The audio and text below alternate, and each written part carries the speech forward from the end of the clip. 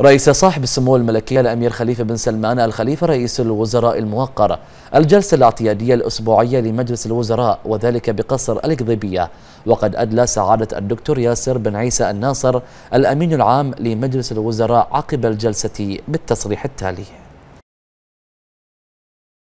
رفع صاحب السمو الملكي الأمير خليفة بن سلمان آل خليفة رئيس الوزراء الموقر أسماءيات التهاني وخالص التبريكات لحضرة صاحب الجلالة الملك حمد بن عيسى آل خليفة ملك البلاد المفدى وللشعب البحريني الكريم وإلى الأمتين العربية والإسلامية بمناسبة قرب حلول عيد الفطر المبارك.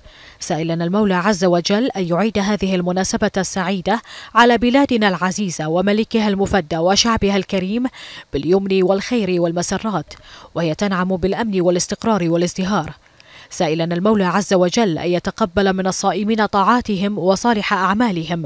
وأن تكون العشر الأواخر المباركة من شهر رمضان الفضيل وقيامها ملهمة لما يسخر به القرآن الكريم من معان سامية في تجسيد أواصر التواصل والتلاقي والمحبة.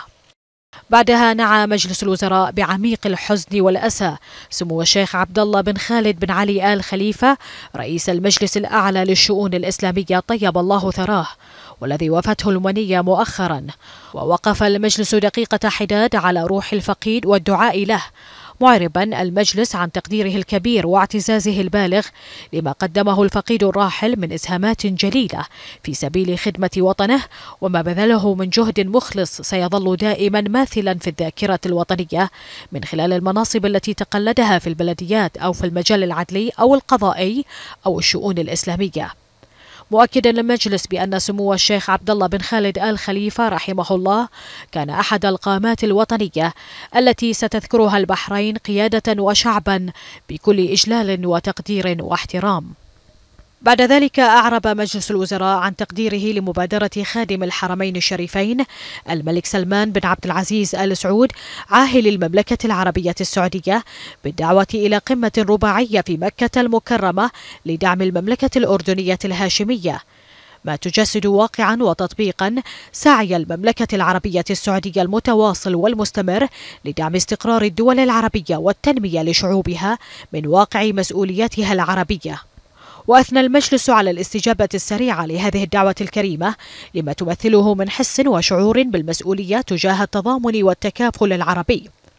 مشيدا المجلس بما خلصت إليه هذه القمة من نتائج هامة ستشكل دعما للأردن الشقيق. من جانب آخر فقد أشاد مجلس الوزراء بما يمثله المجلس التنسيقي السعودي الإماراتي من نموذج حي للتعاون الثنائي بين الدول وتفعيل أواصره وآلياته وبدوره في دعم منظومة العمل الخليجي المشترك. ورحب المجلس في هذا الصدد بما أسفر عنه الاجتماع الأول للمجلس التنسيقي السعودي الإماراتي الذي عقد مؤخرا في جدة بالمملكة العربية السعودية الشقيقة. ورئيس الجانب السعودي منه صاحب السمو الملكي الأمير محمد بن سلمان آل سعود ولي العهد نائب رئيس مجلس الوزراء وزير الدفاع. وعن الجانب الإماراتي صاحب السمو الشيخ محمد بن زايد آل نهيان ولي عهد أبو ظبي نائب القائد الأعلى للقوات المسلحة بدولة الإمارات العربية المتحدة. بعدها تابع صاحب السمو الملكي رئيس الوزراء ما تم على صعيد وضع ضوابط على بيع الأراضي والعقارات في المدن والقرى بما فيها أحياء المحرق وقلالي والزلاق وفي بعض القرى والمدن الأخرى لضمان عدم تأثير عمليات البيع على التركيبة السكانية والخصوصية المجتمعية والتاريخية لهذه الأحياء والقرى والمدن. وبما لا يضر بالعملية الاستثمارية. وكلف سموه جهاز المساحة والتسجيل العقاري بالتنسيق مع الجهات ذات العلاقة والاختصاص باتخاذ ما يلزم لذلك. وفي إطار ذي صلة فقد كلف صاحب السمو الملكي رئيس الوزراء وزارة الإسكان بدراسة إنشاء مشروع إسكاني في سار كما وجه سموه الوزارة المذكورة إلى استيعاب الطلبات الإسكانية الحالية للأهالي بسار في مشروع الهملة الإسكاني وفي مدينة سلمان ومن خلال برامج مزايا.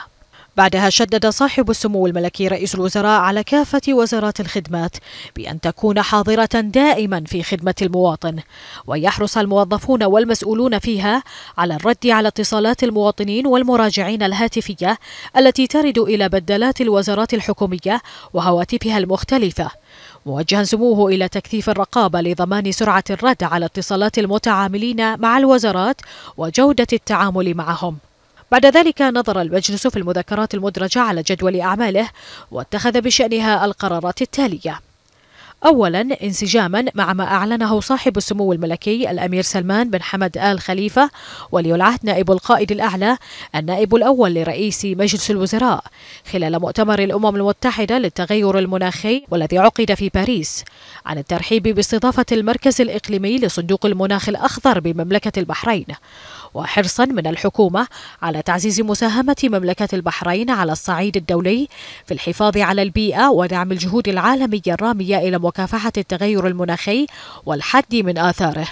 فقد وافق مجلس الوزراء على إنشاء المركز الإقليمي لصندوق المناخ الأخضر في مملكة البحرين الذي يعد واحدا من أهم الآليات التمويلية في مجال التغيرات المناخية لتحقيق أهداف اتفاقية الأمم المتحدة الإطارية لتغير المناخ التي صدقت عليها مملكة البحرين سنة 1994 وفوض المجلس وزير الخارجية بالتوقيع النهائي على اتفاقية إنشاء المركز المذكور وذلك على النحو الذي أوصت به اللجنة الوزارية للشؤون القانونية وعرضها معالي نائب رئيس مجلس الوزراء رئيس اللجنة المذكورة. ثانيا وافق مجلس الوزراء على تعديل اللائحة التنفيذية لقانون المرور بإضافة تصنيف جديد من المركبات تحت مسمى سيارات أثرية الكلاسيك. وإضافة لوحات تسجيلها إلى جدول أنواع لوحات أرقام التسجيل. كما يهدف التعديل أيضا إلى وضع ضوابط على تسجيل المركبات المستعملة المستوردة من الخارج والتي يزيد عمرها على خمس سنوات من تاريخ الصنع. وقرر المجلس الموافقة على مشروع قرار يصدر عن وزير الداخلية في هذا الشأن على النحو الذي أوصت به اللجنة الوزارية للشؤون القانونية وعرضها معالي نائب رئيس مجلس الوزراء رئيس اللجنة المذكورة. كما وافق مجلس الوزراء أيضا على مشروع قرار يدرج لوحات تسجيل السيارات الأثرية ضمن دليل إجراءات بيع أرقام التسجيل المميزة وشبه المميزة لتسري بشأنها كافة القواعد والإجراءات المتعلقة ببيع لوحات أرقام التسجيل المميزة. فيما ينظم القرار الذي يصدر عن وزير الداخلية أيضا وضع الأرقام المميزة على سيارة التأجير أو السيارة الخاصة بعقد تأجير ينتهي بالتملك. ثالثا وجه صاحب السمو الملكي رئيس الوزراء بتوزيع استخدامات الطاقة الشمسية وزيادة الاعتماد عليها كمورد للطاقة الكهربائية وتبني البدائل التي تجعل تخزين هذه الطاقة ميسرا وذي جدوى اقتصادية. وذلك خلال متابعة المجلس للاستعدادات لمواجهة الطلب المتنامي على الكهرباء والماء خلال الصيف 2018 وما تم اتخاذه استعدادا لذلك على صعيد قطاع إنتاج ونقل وتوزيع الكهرباء والماء كلا على حدة. كما اطلع المجلس على الخطة التي أعدتها هيئة الكهرباء والماء لتقوية شبكة جهد الكهرباء وإعادة تأهيل محطات التوزيع الفرعية وتوفير 308 مولدات متنقلة لاستخدامها في حال انقطاع الكهرباء. وأطلع سعادة وزير شؤون الكهرباء والماء المجلس على عرض مدعم بالإحصائيات. يظهر التحسن الملحوظ في عدد ومدد الانقطاعات الكهربائية مقارنة بالأعوام السابقة حيث أثنى المجلس على جهود وزير شؤون الكهرباء والماء وهيئة الكهرباء والماء. رابعا وافق مجلس الوزراء على اعتماد نظام جديد يسمح للمسافرين العابرين الترانزيت من البحرين بالبقاء في المملكة ثلاثة أيام بدلا من يوم واحد. وذلك من خلال المذكرة المرفوعة لهذا الغرض من معالي وزير الداخلية لتعديل قرار الرسوم الخاصة بخدمات الإدارة العامة للجنسية والجوازات والإقامة. خامسا بحث مجلس الوزراء خمسة مذكرات تفاهم للتعاون بين مملكة البحرين وجمهورية فرنسا في مجال التعليم والتعليم العالي والزراعة والثروة السمكية وفي مجال الطاقة المتجددة وبشأن الصادرات الفرنسية والبحرينية المشتركة وقرر المجلس إحالتها إلى اللجنة الوزارية للشؤون القانونية. سادسا بحث مجلس الوزراء تعديل اللائحة التنفيذية لقانون السجل التجاري من خلال المذكرة المرفوعة من سعادة وزير الصناعة والتجارة والسياحة. ويتيح التعديل المقترح عدم تأثر معاملات الشركات المملوكة لنفس الشركاء عند تقديم طلبات المعاملات في السجل التجاري سواء التجديد أو إلغاء القيد أو إجراء التأشير بالمخالفات على الشركات الأخرى المملوكة لهم. بحيث يقتصر التأثير فقط على الفروع التابعة لذات القيد. فإذا كان لشركة أو مؤسسة عدة فروع في نفس السجل التجاري وكان أحد الفروع التابعة لها مخالفا فإنه على الشركة أن تبادر بتصحيح مخالفة ذلك الفرع قبل إجراء المعاملة دون التعرض للشركات الأخرى المملوكة لنفس الملاك.